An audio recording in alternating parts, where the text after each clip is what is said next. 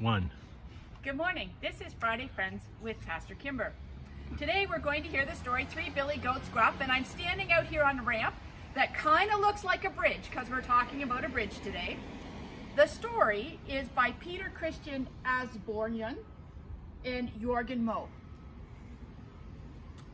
The Three Billy Goats Gruff. Once upon a time, there were three billy goats who wanted to go up to the hillside to make themselves fat.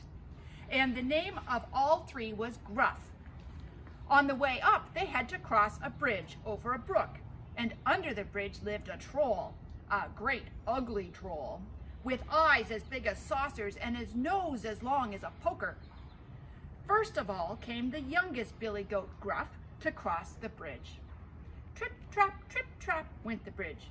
Who's that tripping on my bridge? roared the troll. oh, it is I, the tiniest billy goat Gruff, and I'm going up the hillside to make myself fat, said the billy, gro billy goat in a small voice. Now, I'm going to gobble you up, said the troll. Oh no, pray don't take me. I'm too little that I am, said the billy goat. Wait a bit till the second billy goat comes. He's much bigger. Well, be off with you then, said the troll. A little while after came the second billy goat gruff to cross the bridge. Trip, trap, trip, trap, trip, trap went the bridge. Who's that tripping on my bridge? said the troll. Oh, it's the second billy goat gruff, and I'm going to the hillside to make myself fat, said the billy goat, who hadn't such a small voice. Now I'm going to gobble you up, said the troll. Oh no, don't take me.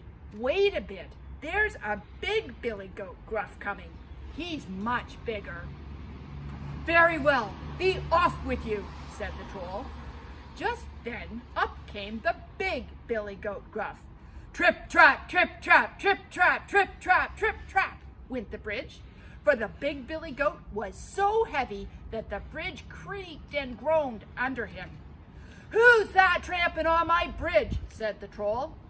It's I, the big billy goat gruff, said the billy goat, who had an ugly hoarse voice of his own. Now I'm going to gobble you up, said the troll. Then the big billy goat gruff said, Well, come along. I have two spears, and I'll poke your eyeballs out at your ears. I've got besides two curling stones, and I'll crush you to bits body and bones. Ooh. That was what the big Billy Gro Gruff said. and so he flew at the troll and poked his eyes out with his horns Ooh. and crushed him into bits, body and bones and tossed him into the brook. Ouch. After that, he went up the hillside. There, the Billy Goat's Gruff got so fat that they were hardly able to walk home again. and if the fat hasn't fallen off them, why, they're still fat. And so Snip, snap, snout. This tale is told out.